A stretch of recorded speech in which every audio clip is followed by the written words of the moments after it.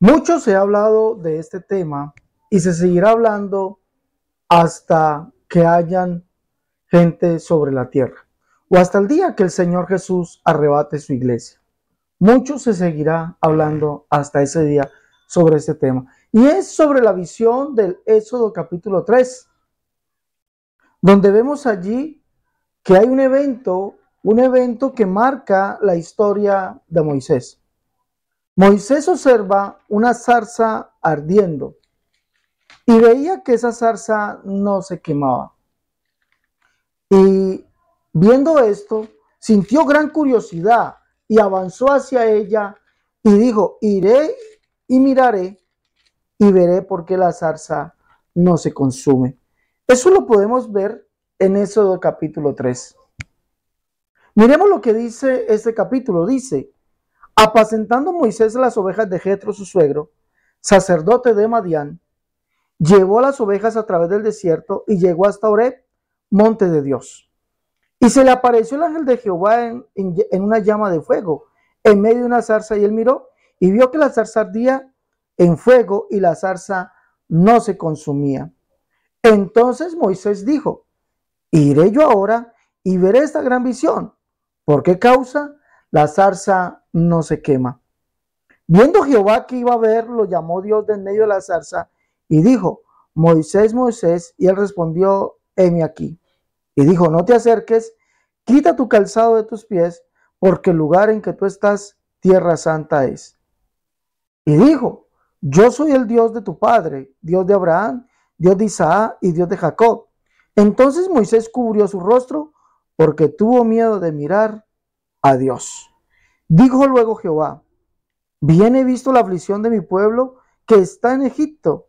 He oído su clamor a causa de sus exactores pues he conocido sus angustias. Esta gran visión sigue siendo, desde tiempos muy antiguos, sigue siendo punto de discusión dentro del cristianismo. ¿Por qué? He acabado de leer un artículo, o he leído muchos artículos en mi vida, donde dicen que evidentemente este o este ángel de Jehová se refiere a Jesucristo y a Él como Dios que esto demuestra plenamente la deidad de Jesucristo, que esto demuestra que Jesucristo es Dios, que esto demuestra la manifestación, ¿sí? Antes de la encarnación de Jesucristo, dicen ellos. Si usted me pregunta a mí, usted me dirá, amigo, ¿está usted de acuerdo? Yo le diría, sí, estoy de acuerdo. Pero usted me dirá, ¿cómo es posible que usted esté de acuerdo con esto? Si lo que están diciendo es que esto demuestra es que Jesucristo es la segunda persona de la Trinidad preexistente juntamente con el Padre y que por eso es Dios. Bueno, yo le podría decir que estoy de acuerdo en que este texto está demostrando que Jesucristo es este del cual se habla aquí. Basta solamente con entender el texto y mirar los contextos para entender también que Jesucristo es este de que se habla aquí, pero no como la segunda persona de la Trinidad, o como el Dios Hijo, o como un ser que es coigual o, consustancial con Dios, o una parte de Dios. No, no. Basta con entender el texto y su contexto que Jesucristo es este Dios, el cual aparece aquí. Mire, es importante leer el texto y el contexto para entender que aquel de que está hablando aquí es de Jehová. Y Jehová es el único Dios para el escritor de Éxodo, el cual es Moisés. Deuteronomio 6.4 dice, Oye Israel, Jehová nuestro Dios, Jehová uno es.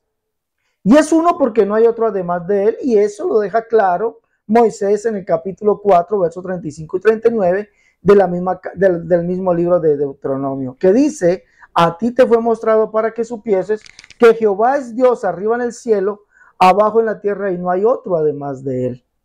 Aprende pues hoy, reflexiona en tu corazón, que Jehová es Dios y no hay otro. Él es Dios arriba en el cielo, abajo en la tierra y no hay otro. ¿Se observa? ¿Mm? Entonces es imposible que este acontecimiento de la zarza esté mostrando a otra persona divina. ¿Por qué? Porque Jehová es el único Dios y no hay otro además de él. Y además dice Moisés que es el Padre. Deuteronomio 32, 6. Así pagáis a Jehová, pueblo loco e ignorante. No es él tu Padre que te creó, él te hizo y te estableció. Cuando vemos aquí, ¿quién fue el que aparece a Moisés? La misma escritura nos dice que no fue una segunda persona, sino que fue el mismo Dios Jehová, el cual es ese Dios que es uno y que es único, el cual es el Padre. Lea y entienda, por favor, volvamos a leer. Dice, apacentando Moisés las ovejas de Jetro su suegro, sacerdote de Madián, llevó las ovejas a través del desierto y llegó hasta Oreb, monte de Dios. Y se le apareció el ángel de Jehová en una llama de fuego, en medio de una zarza, y él miró y vio que la zarza ardía en fuego y la zarza no se consumía. Entonces Moisés dijo, iré y, iré yo ahora y veré esta gran visión, porque causa la zarza no se quema. Dice, mira lo que dice, viendo Jehová. ¿Quién es Jehová? El único Dios. Que no hay otro además de él, ni arriba en el cielo, ni abajo en la tierra. Dice, viendo Jehová que, iba a ver, lo llamó Dios de en medio de la zarza y dijo, Moisés, Moisés, él respondió, aquí. Y dijo, no te acerques, quita el calzado de tus pies, porque el lugar en que tú estás, tierra santa es. Y dijo, yo soy el Dios de tu padre, Dios de Abraham, Dios de Isaac, Dios de Jacob. Entonces Moisés cubrió su rostro y tuvo miedo de mirar a Dios. Dijo luego Jehová. Entonces, ¿quién fue aquel que apareció a Moisés? El cual la escritura lo llama el ángel de Jehová. Apareció en una zarza. ¿Quién es? Jehová mismo. No dice que era una segunda persona. Recuerde que la Biblia prohíbe literalmente hablar de otra o de otro aparte de Jehová, el cual es el Padre. ¿Se observa esto? Entonces, ¿quién aparece aquí? Jehová. Jehová es el que aparece. ¿Y quién es Jehová? El único Dios para Moisés, el cual no hay otro Dios además de él ni arriba en el cielo ni abajo en la tierra. No hay otro, dice literalmente, y él es el Padre. Ahora, es el mismo Moisés que relata que el que le apareció a él en la zarza fue Jehová. Vamos a leer. Deuteronomio 33, Vamos a leer allá. Mire lo que dice. Mire lo que dice. Deuteronomio 33, verso 1 y 2, y vamos a leer el verso 13 al verso 16. Deuteronomio capítulo 33, verso 1, verso 2, y leemos el verso 13 hasta el 16 también dice, esta es la bendición con la cual bendijo Moisés, varón de Dios, a los hijos de Israel antes que muriese. Dijo, Jehová vino del Sinaí y de Seir les esclareció. Resplandeció desde el monte de Parán y vino de entre diez millares de santos. Verso 13. A José dijo, bendita de Jehová sea tu tierra, con lo mejor de los cielos, con el rocío y con el abismo que está abajo, con los más escogidos frutos del sol, con el rico producto de la luna, con el fruto más fino de los montes antiguos, con la abundancia de los collados eternos y con, los y con las mejores dádivas de la tierra y su plenitud y la gracia del que habitó en la zarza. ¿De quién está hablando? ¿De Yahvé o de Jehová?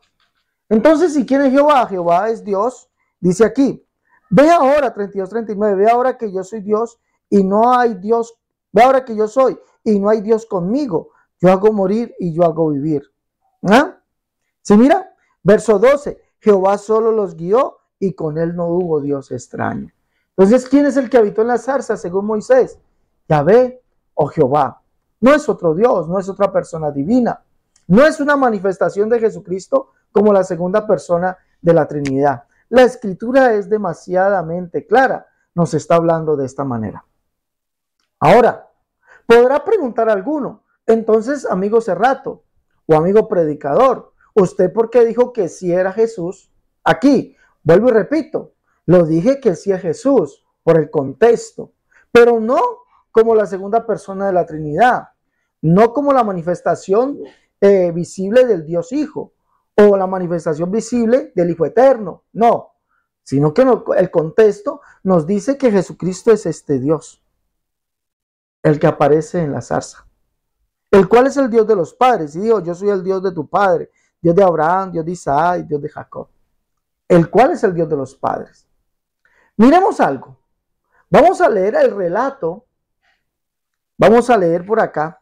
Acompáñeme, por favor, y yo espero que usted, amigo y hermano, esté apuntando esto. Por el contexto sabemos que Jesús es el Jehová del Antiguo Testamento, el cual es el único Dios. Vamos a mirar acá. Miremos. Miremos. Miremos, ¿quién se le apareció a Moisés? Según Esteban, fue el Señor. Recordemos que Esteban dice, Esteban clamando al Señor le dice, Señor Jesús recibe mi espíritu. Y puesto de rodillas clamó a gran voz, Señor, no le tomes en cuenta este pecado. ¿Quién es entonces? Mire lo que dice. Pasados 40 años, capítulo 7, verso 39 dice, pasados 40 años, se le apareció en el desierto, un ángel se le apareció en el desierto del monte Sinaí, en llama de fuego de una zarza. Entonces Moisés mirándolo, se maravilló de la visión y acercándose para observar, vino a él la voz del Señor. ¿Se observa? Vino a él la voz del Señor. Yo soy el Dios de tus padres, el Dios de Abraham, el Dios de Isaac, el Dios de Jacob. Y Moisés temblando no se atrevió a mirar y le dijo, Señor, y le dijo el Señor, quita el calzado de tus pies porque el lugar en que estás es tierra santa. Entonces, ¿quién es este que se le aparece a Moisés? Pues eh, aquí está diciendo, el contexto nos está diciendo, uno, que es el mismo Jehová, el cual no hay otro Dios además de él. Pero por la razón en que muere Esteban o porque matan a Esteban, es porque Esteban le comienza a decir a todo el mundo que Jesucristo, que el Señor es aquel el cual Moisés vio y habló con él cara a cara. Miren lo que dice aquí. Vino a la voz del Señor. Yo soy el Dios de tus padres, el Dios de Abraham, el Dios de Isaac, el Dios de Jacob. Y Moisés temblando, no se atrevió a mirar le dijo, Señor. Y le dijo el Señor, quita el calzado de tus pies, porque el lugar en que estás es tierra santa. Jesucristo es ese Señor. Por eso les decía que yo sí creo que este, el ángel de Jehová, es el mismo Jesucristo. ¿Por qué? Porque es el único Dios. No que sea otra persona diferente y distinta, no. En eso se equivocan. Porque aquí a Moisés no le apareció otra persona diferente y distinta. Le apareció Jehová, el cual es el único Dios. Y Moisés aclara que no hay otro además de él y es el Padre. Pero viendo el contexto, cuando Esteban dice esto, por eso lo matan, porque dice que Jesús es el Jehová del Antiguo Testamento que se le apareció a Moisés, el cual es el Dios de los padres. Pero esto no queda solamente allí. Cuando usted lee lo que Ananías le dice a Pablo, Ananías le confirma que el que escogió a Pablo fue el Dios de los padres. ¿Y cuál es ese? El Jehová. Recuerde que le dice, Dios, Jehová le dijo a Moisés, yo soy Jehová tu Dios, el Dios de Abraham, el Dios de Isaac, el Dios de Jacob. Recuerde lo que le dice allá. Mire, lo mismo le dice Ananías a Pablo, capítulo 22 de los Hechos. Mire lo que dice. Y él le dijo, el Dios de nuestros padres te ha escogido para que conozcas su voluntad y veas al justo y oiga la voz de su boca. Porque serás testigo suyo a todos los hombres de lo que has visto y oído. Ah, el Dios de los padres lo escogió. ¿Quién fue ese? Según Hechos, capítulo 9, el que lo escogió se llama Jesucristo. Y el Señor le dijo, ¿quién? Jesús. Ve porque instrumento escogido me es este para llevar mi nombre en presencia de los gentiles y de los reyes y de los hijos de Israel porque yo le mostraré cuánto le es necesario padecer por mi nombre.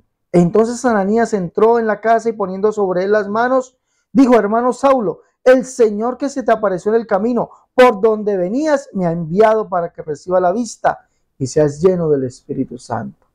Entonces, ¿quién fue? ¿Quién es? ¿El de la zarza? ¿Quién es? Ah, el único Dios. ¿Mm? El único Dios. No es otro. Jesucristo es ese Jehová, el Jehová del Antiguo Testamento. es ese. Porque elemental, la Biblia dice que Jehová mismo vendría y nos salvaría, que el mismo que hablaba vendría haciéndose hombre. Estaría presente. Entonces, con esto nosotros sí podemos demostrar, mis hermanos, demostrar literalmente, demostramos literalmente que lo que dicen por allí algunos teólogos se equivocan, que dicen que no, que, que el ángel de Jehová es la manifestación del Dios Hijo, la segunda persona de la Trinidad, etcétera, etcétera, la manifestación del Hijo Eterno, etcétera, completamente falso, porque el contexto nos está diciendo que no. Moisés vio a Jehová. Se le apareció Jehová en una zarza.